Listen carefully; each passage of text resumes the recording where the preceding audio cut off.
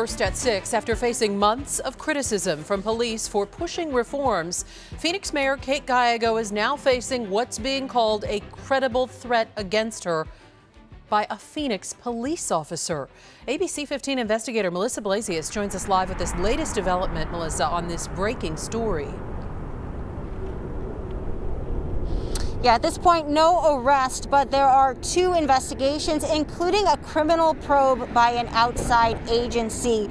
At this point, Phoenix police say the officer who is suspected here is not on regular duty, that he has been assigned to home, and that the mayor has extra security with her now. Other than that, folks here at City Hall and the Phoenix Police Headquarters have remained pretty tight lipped about what this officer said or did.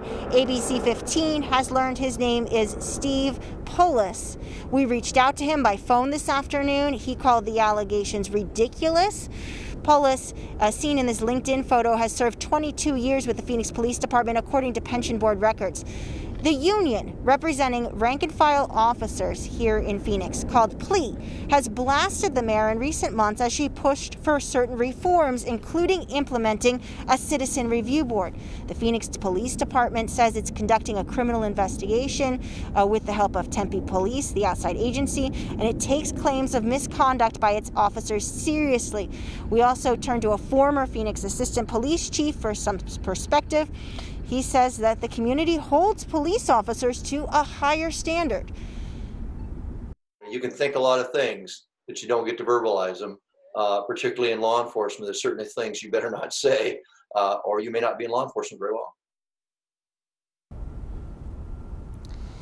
And former Assistant Police Chief Andy Anderson also says that the reason why you don't often hear about these kinds of things is because they don't happen. This is extremely rare.